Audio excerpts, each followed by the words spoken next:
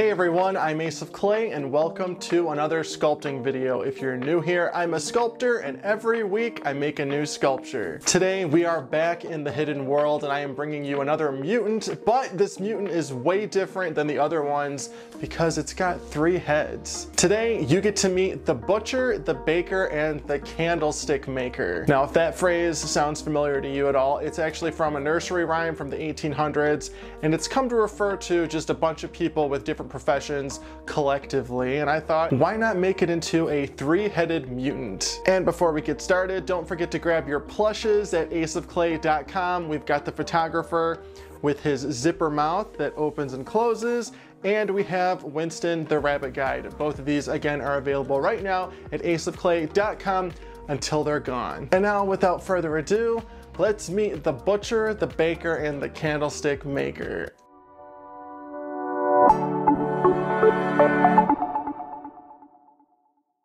All right, let's get started. We're gonna start, of course, with the armature. I've got my wooden plaque here with the holes drilled for the wire, just shaped out the torso and legs, and now I'm bulking it out with some aluminum foil. Then we're gonna go over that and bulk it out further with some Super Sculpey Ultralight. And like I said in the intro, this is going to be a three-headed mutant. So we got one body with three heads, and I think we're gonna do three arms. And to attach the arms, I'm just gonna poke them right into the body, like this.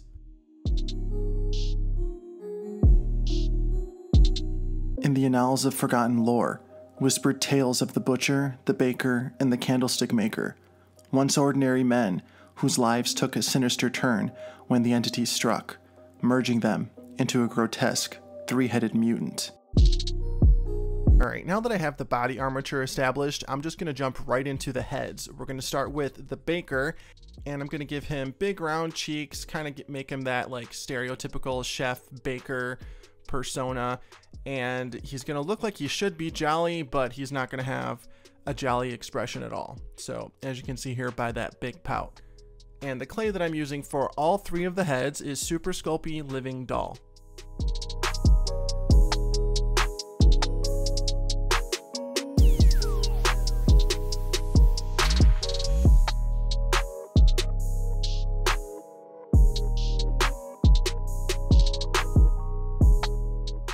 After getting that chin on, we're going to work on his expression and give him some angry brows.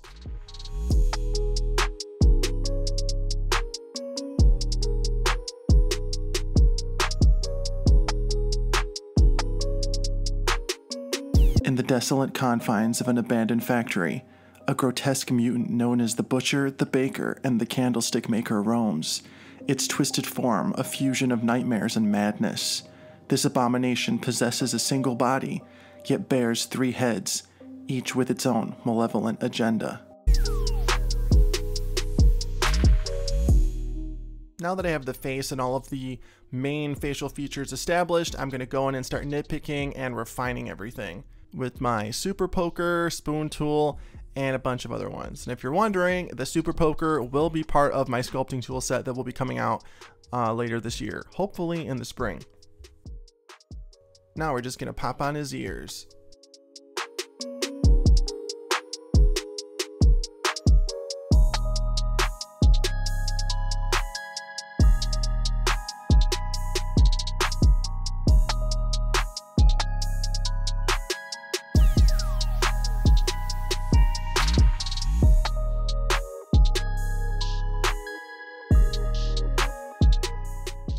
Finish off this guy's face, I want to give him a very large, exaggerated mustache. So I'm just using this piece of floral wire and I'm adding the front of the mustache out of clay and then it's going to morph into this long, skinny swirl. Like that. As the butcher, the baker, and the candlestick maker traverse the crumbling corridors, their movements are a macabre ballet of horror and dread. Their strides are long and purposeful, their footfalls echoing through the desolate halls with a bone chilling intensity. And let's pop on the other side of his mustache and check it out. I really like his mustache, but I think he needs some eyebrows to match, so let's go ahead and stick those on now.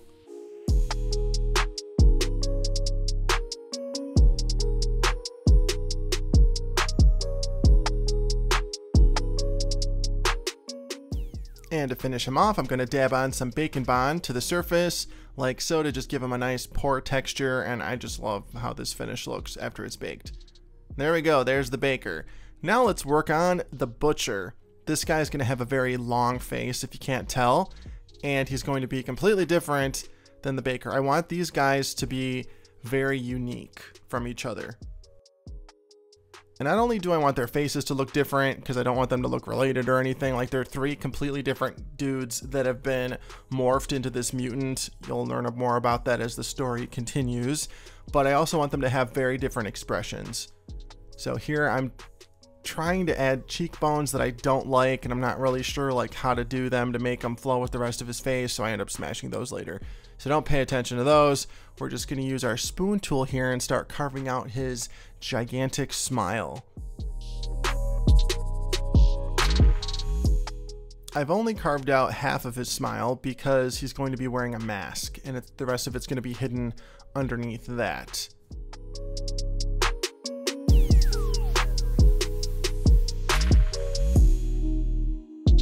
Standing at a towering height of 10 feet, their monstrous silhouette casts a pall of terror over the forsaken landscape, their twisted forms a grotesque testament to the darkness that dwells within the shadows.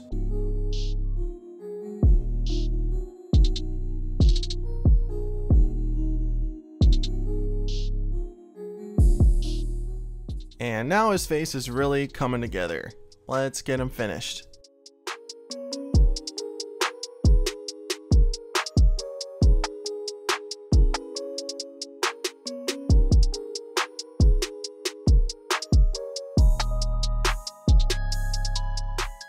I just love contrasting features. Like this guy has a huge smile, a huge nose, beady eyes that are really close together, and then he's got these tiny little ears. Like I just love that. I just think it just balances everything out.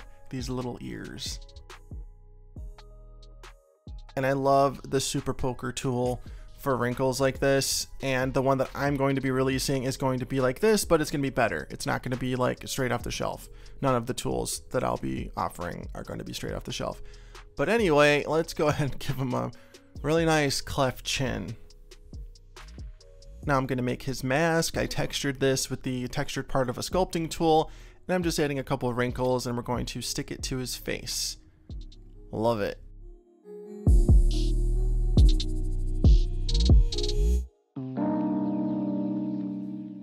And now for some tiny little snakes of clay to create the strings that hold the mask to his face. These are made out of Cosclay because Cosclay stays flexible after it's baked and you'll notice that I make all of the really delicate areas out of Cosclay.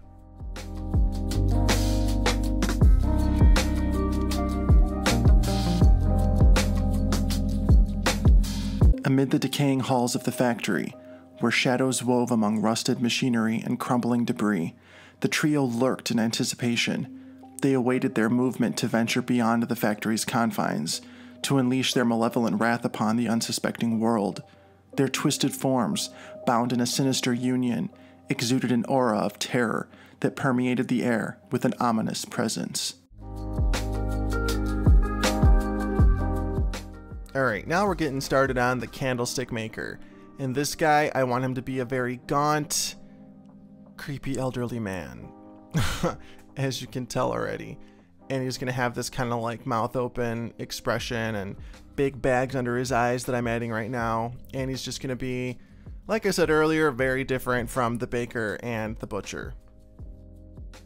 And instead of a really big nose, we're going to give him a really small nose.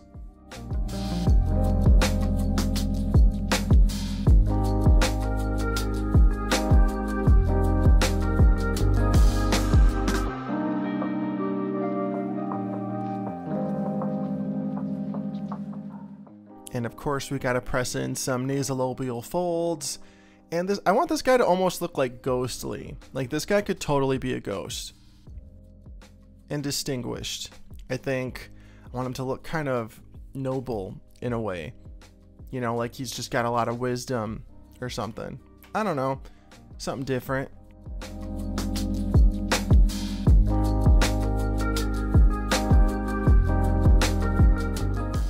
Now let's go ahead and get those brows on.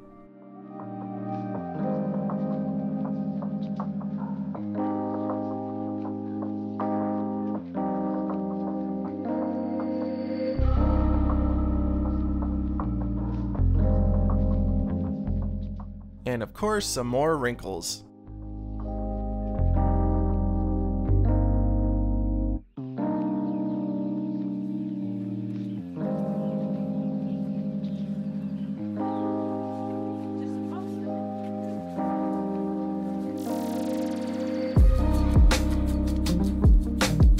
The butcher, with white eyes like smoldering embers and hands stained with the blood of countless victims, prowled the corridors with a predatory grace. His rusted cleaver, gleaming dully in the dim light, was a testament to the savagery that lurked within his soul, hungering for the taste of flesh and the sweet music of screams. Now, back to contrasting features. This is actually pretty important when you're making your own characters. You want the features to complement each other, you don't want them to fight. So, for example, on this guy, I gave him a really small nose but larger ears. It just works together better than if I were to make all of his features huge. Even though the sky is the limit, you still want balance. Now I'm just going to snap a couple photos for my Instagram subscribers. You can subscribe for $2.99 a month to get a behind the scenes look at what I'm sculpting every week while I'm sculpting it. Head to my Instagram, Ace of Clay, to join in. Now that all three of the heads are done, let's go back to the body. I'm going to cover it in some Super Sculpey Original, and I got these nice even sheets by rolling the clay through my pasta maker on the thickest setting. I just want to give myself a nice smooth surface to work on. And before I go any further, I want to put the arms and the necks in their almost final positions. And then let's start covering all the limbs in clay. I like brushing all of my wire with Bake & Bond before I attach the clay because it sticks so much better and I think it's just as effective, if not more effective, than wire wrapping.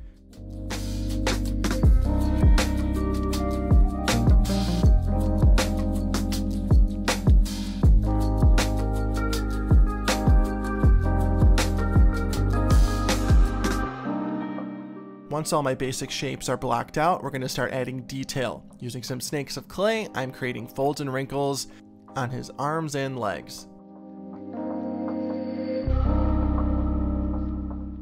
The baker, his skull etched into his features as though it were carved by the hands of fate, exudes an aura of perpetual disdain.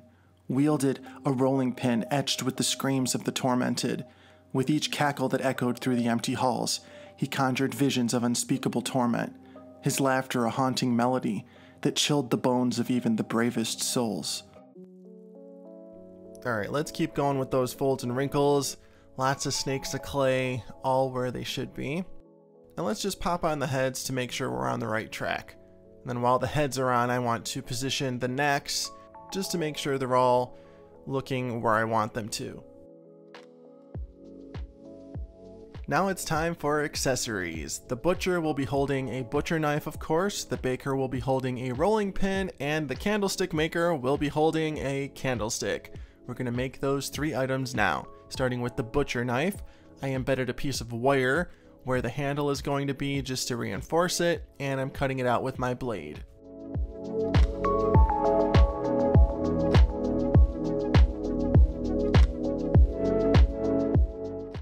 There's the butcher knife. Now let's work on the rolling pin. I'm embedding this toothpick inside a snake of clay that I cut to size, and we're going to blend everything together like that, and then add the little handles on each end, and then texture it to look like wood.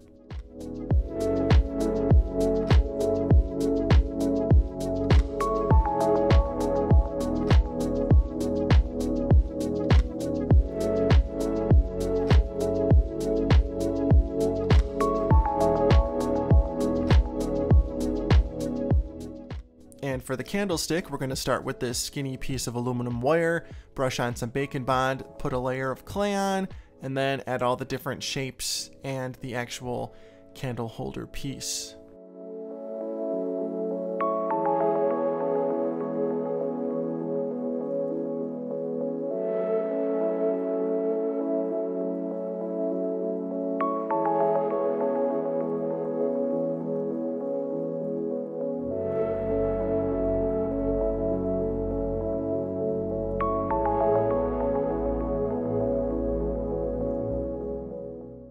Once all these items are done, I'm going to pre-bake them so they're easy to just stick in their hands when the time comes. And I don't know about you, but I think he needs some more Fulton wrinkles. So let's get those on and then we can move on to some other details. The butcher and the candlestick maker are going to have collars, so let's get those on now. The candlestick maker, his hollow eyes flickering with malevolent intent, clutched a sinister candlestick, wreathed in dark magic, with whispered incantations that hung heavy in the air like a shroud of doom. He wove spells of despair that twisted the very fabric of reality, sealing the fates of those unfortunate enough to cross his path. And because you can't just walk into a store and get a shirt with three arms and three holes for three different heads, it's going to be custom made. So I made it look like it was stitched together, two different fabrics, and now we're creating the waist of his pants. And I think we're just going to bring everything together with a nice apron. Of course, making this out of cosclay, trying to get the shape down, getting it to the size that I want, and then I'm going to wrinkle and crinkle it in the air so it looks nice and dynamic once I stick it on.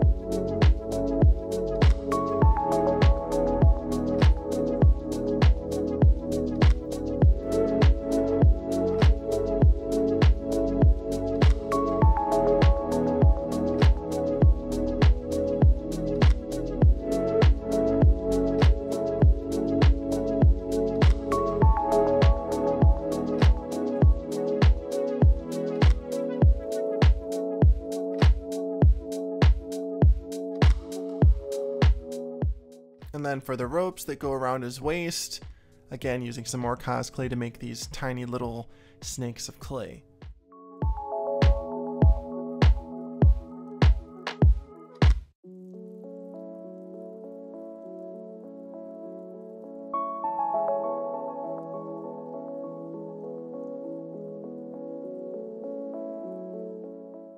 And I think the candlestick maker needs a scarf, so let's pop that on now.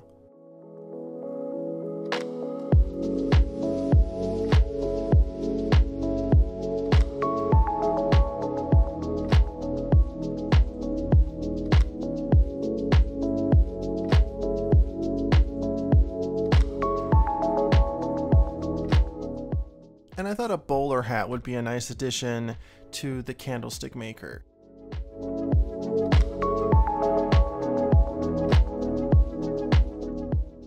And just for fun, we're gonna stick a melted candle on top of it. This poor guy's a mess.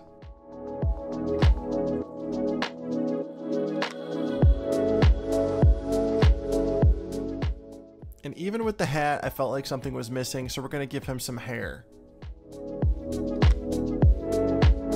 United in their insatiable thirst for carnage, the butcher, the baker, and the candlestick maker worked in sinister tandem, their twisted minds crafting a symphony of terror that echoed through the halls of the factory like a funeral dirge.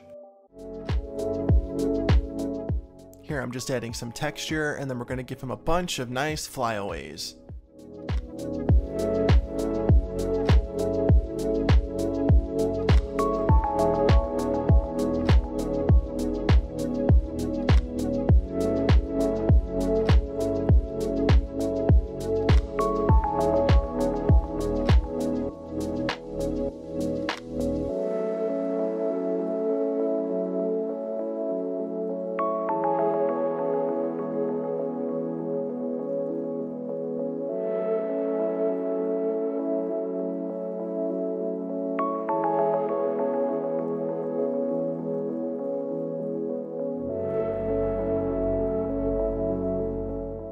There we go, much better. And for the butcher, I made him this nice paper hat.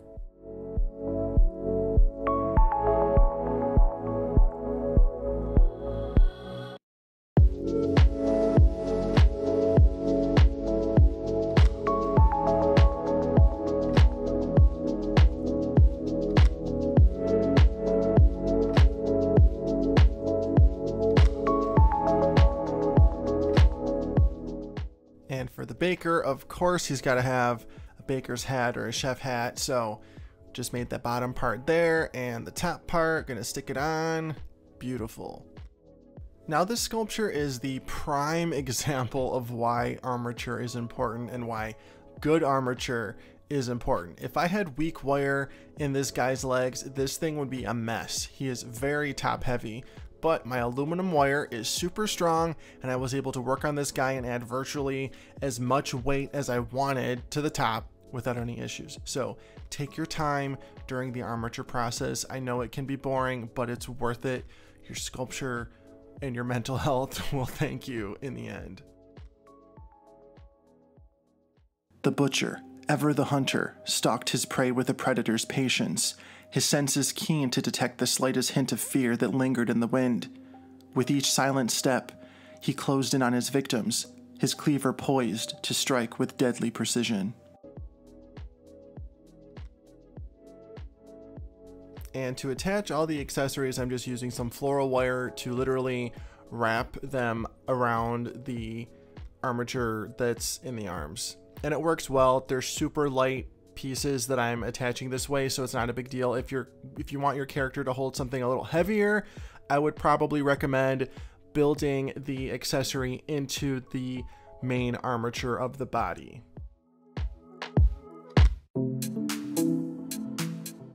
And then of course I just wrapped those cosclay hands around all of that wire. And it worked great. Now we're going to give this guy some boots.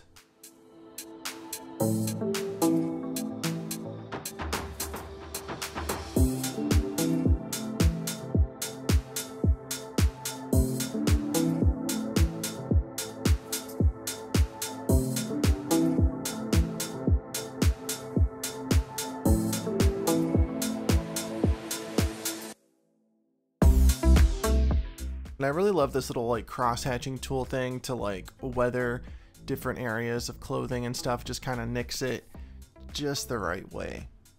After some shoelaces and popping on the baker's hat, I think this guy's ready to bake. It's been a long process. and once they're baked and completely cooled down, it's time for paint. As you can see, I did not attach the baker's head before I baked the sculpture because I wanted to be able to remove it because painting the other two guys' heads next to him would have been a nightmare. And to paint each of these guys' heads, the process is identical. I go in with a nice medium color that I want for the base tone of the face, then I go in with a darker version of that color as a wash, get into all those nooks and crannies, and then a lighter version of the base color as a nice dry brushing on the surface to bring out the details and highlights even more. In the somber depths of the forsaken corridors, the baker's laughter, though twisted, carried echoes of a forgotten melody, haunting yet strangely captivating. Behind his icy facade lay a heart ensnared by shadows, its depths concealed until the moment was ripe. With a craftsmanship akin to artistry, he would lay his snares, weaving a tapestry of deceit that ensnared unsuspecting souls. And in the quietude of his lair, his rolling pin, once a tool of creation, became an instrument of tragic finality, sealing the fates of those who dared to venture too close. I loved painting his facial hair. I just think it just it brought his whole persona together.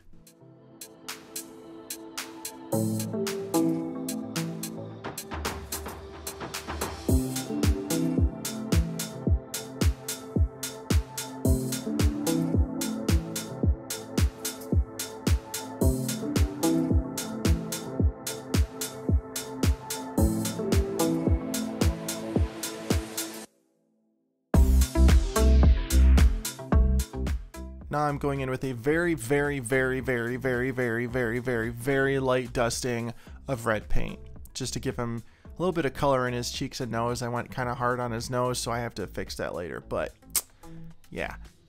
Now on to the candlestick maker. Again, same process as the baker. Going in with that wash, and then finishing him off with some dry brushing, going in with a fine paintbrush to really bring out those wrinkles.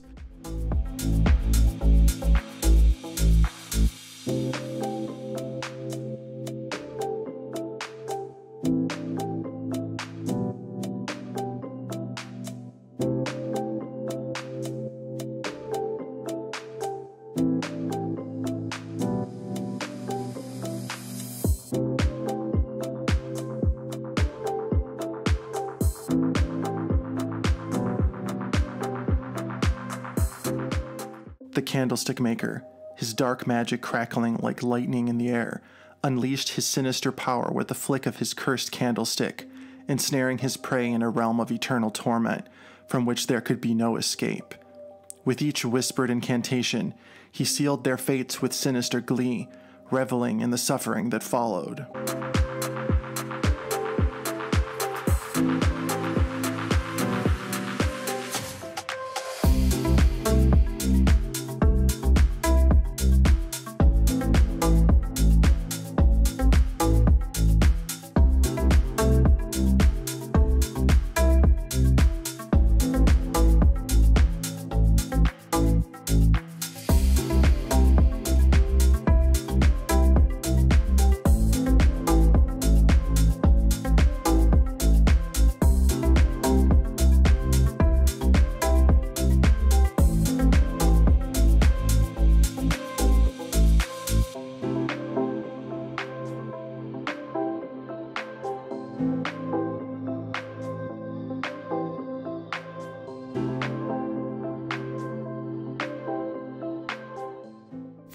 I'm going to go in with a lot of browns and beiges instead of grays. There's a lot of grays going on in their faces.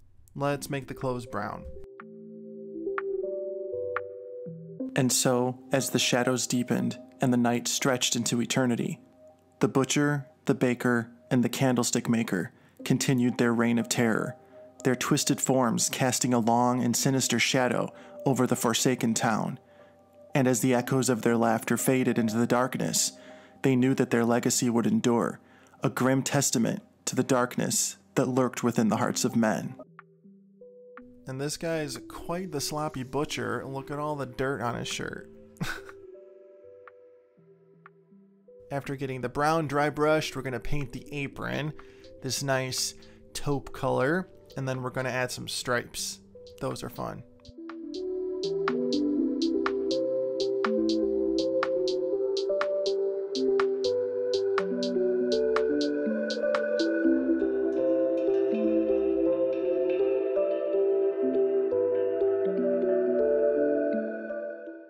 The stripes and some dry brushing, let's dirty it up. And if you can't see it there, I added a little skull where the tie is in the front on his apron. Gotta put a little skull motif on all my mutants.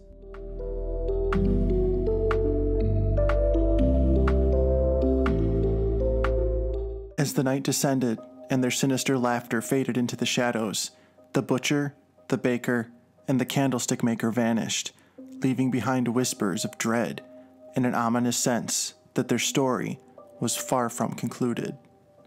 And that is the butcher, the baker, and the candlestick maker. And just to make my life easier, I cut off his scarf to paint it, and then we're just gonna glue it back on. Perfect, like I never took it off. Now let's paint that base and then get that butcher knife and candlestick painted. Now we can call this guy done. But look at how that treasure gold silver goes on. Like, ugh, it's just a flash of light. And the treasure gold gold.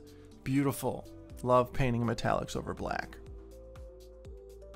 And after all that, say it with me. And he's done, or should I say, they're done. The butcher, the baker, and the candlestick maker are complete. Let me know what you think in the comments.